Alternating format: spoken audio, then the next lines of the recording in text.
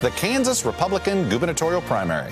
We still don't know who's going to win this one. Right now, 191 votes separate Kansas Secretary of State Chris Kobach and incumbent governor, the sitting governor, Jeff Colyer.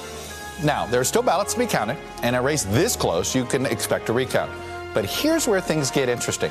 Guess who oversees that recount, everybody?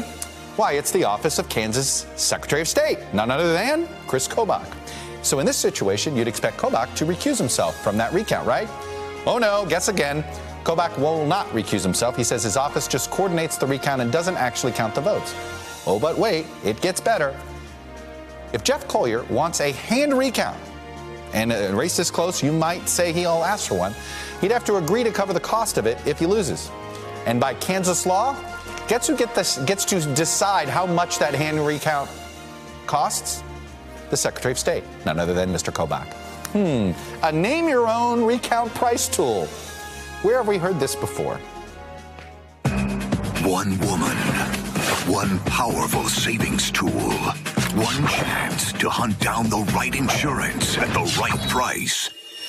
The Name Your Price tool, only from Progressive. Hello, YouTubers. If you're watching this, it means you've checked out our channel, so thank you. Now do me a favor, subscribe by clicking on that button down there.